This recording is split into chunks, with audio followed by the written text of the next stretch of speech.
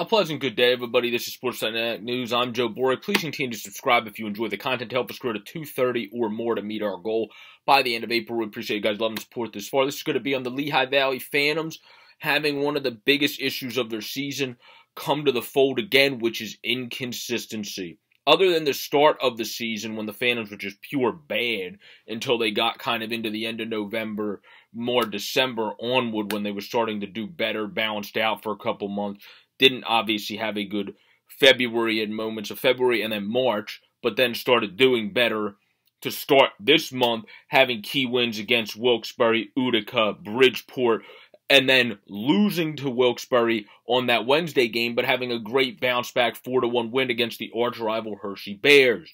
So it seemed like things were still going in the right direction, but whoa, whoa, whoa, not so fast as Mr. Inconsistency comes to strike for the Phantoms again, and they fall to the same Bridgeport Islanders they beat 4 to 3 the previous week in Bridgeport, 4 to 2 in Bridgeport on a game that the Phantoms again, it's been multiple times this year the Phantoms haven't even been able to get one to two goals at times, which is too many.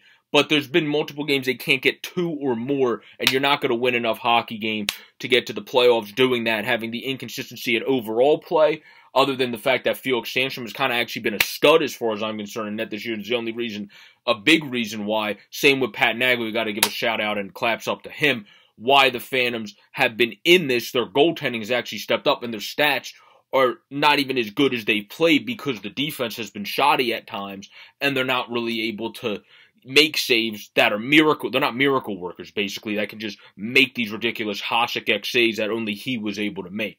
So I think this team has looked better. Let me say this in the positive.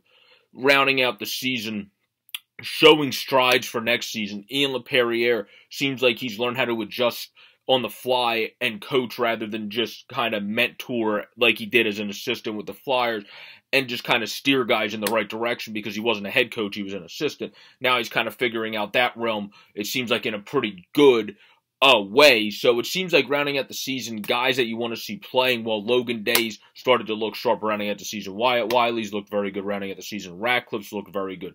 Strome has continued to grow. So you have guys you want to continue to see play well that are youngsters. Johnson's come in and performed way better than I thought. I had to eat crow on him, and I'm very happy for that. Cal O'Reilly seems like he's going to stick around, hopefully, and a great natural born leader. And then you have other guys like uh, Zamula, I think, will probably make the team out of camp next year. But obviously, they have other guys that could come over as well. Attard might see some AHL time. So then you're going to get um, that as well. You're going to get a good player like Attard down there as well to see what uh, he's able to do, or Adard, um, however you pronounce his last name. Either way, uh, he's it's been pronounced multiple different ways uh, from listening to different people, but I, I guess Adard is probably the right way.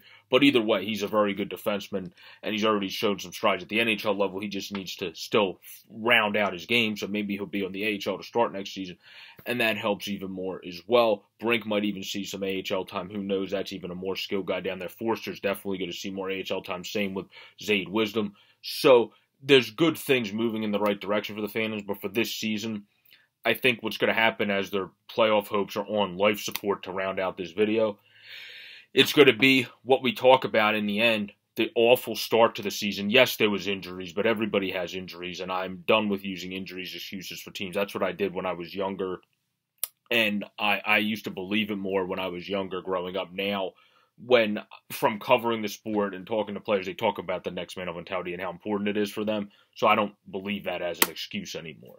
So yes, there was injuries, but they started looking better. It's not like they were even the healthiest when they looked better in December. They just started looking better. The Phantoms then got healthy. They brought Fitzy and others back. Um, made some decent pickups like Kyle from Briere's Maine Mariners that have actually fit in fairly well.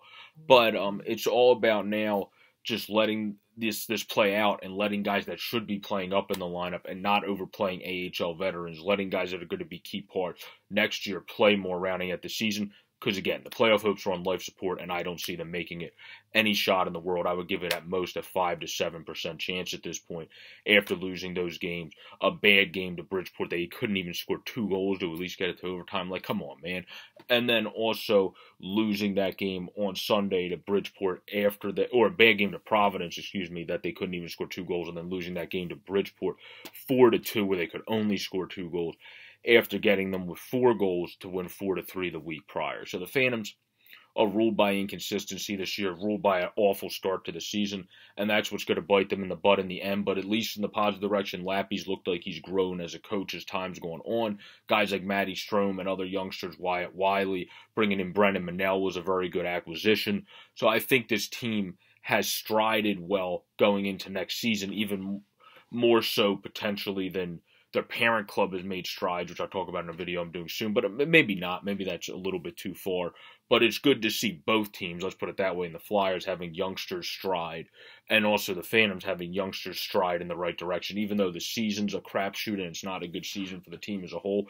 In either way, for the Phantoms and or the Flyers, um, I think it's good to just see guys that are important going forward stride in the right direction.